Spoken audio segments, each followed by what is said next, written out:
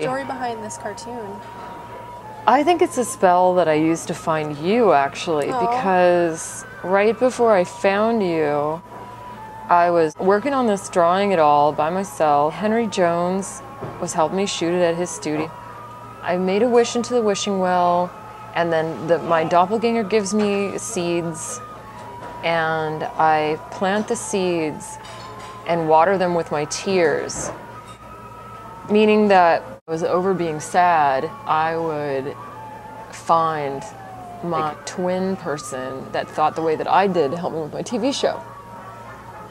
And then we just ran into each other. Yeah, and you wear dresses like that, reflection, and then we were like little twins. Aw, And then I found you right after I did this, put it on the TV show. I love it. I feel like any art is a spell. Rest in peace, Henry Jones.